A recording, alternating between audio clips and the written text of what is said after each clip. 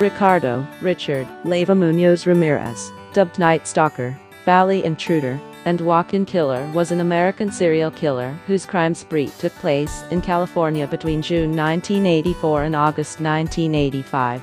He was convicted and sentenced to death in 1989. He died in 2013 while awaiting execution.